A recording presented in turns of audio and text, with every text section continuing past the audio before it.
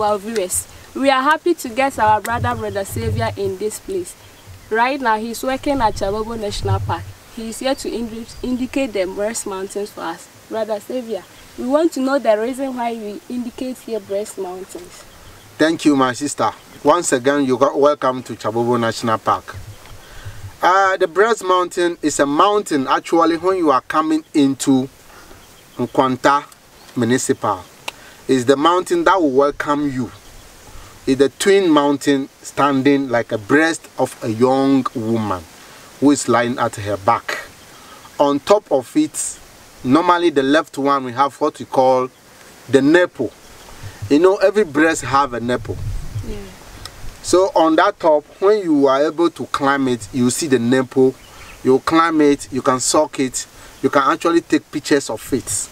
In a nutshell, so the mountain actually welcome you to Nkwanta. Okay, Mr. Savior. the mountains, one is bigger than the other. Why? Yeah, actually, orally, people have been saying that the natural breast of a woman, one is bigger than one.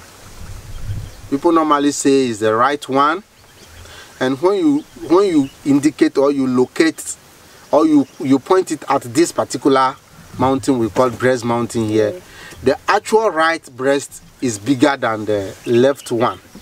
Yes, as you can see the picture the picture indicates that the right one is actually bigger. So I think orally people are right about it.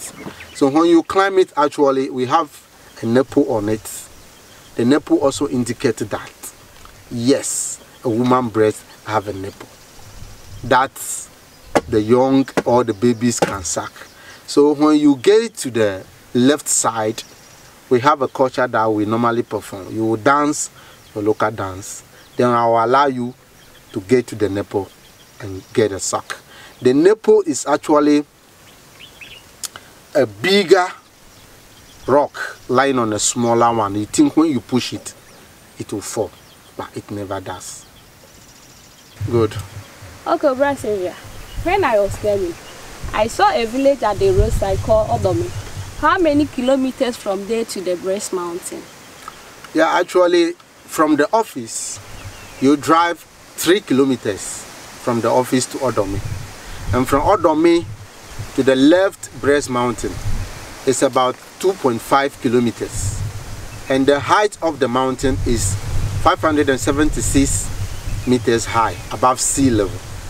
When you are able to climb the mountain to the Nepu, and if you have a clear weather, you are happy, you are lucky to have a clear weather that day, you can get access to some of the surrounding communities.